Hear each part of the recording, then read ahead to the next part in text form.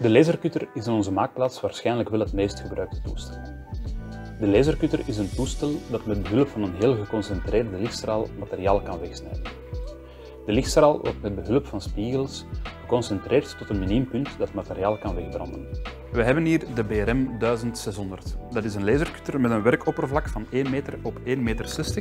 En daar kan je zonder problemen materialen mee snijden zoals MDF, plexiglas, maar ook leer en andere zachte houtsoorten.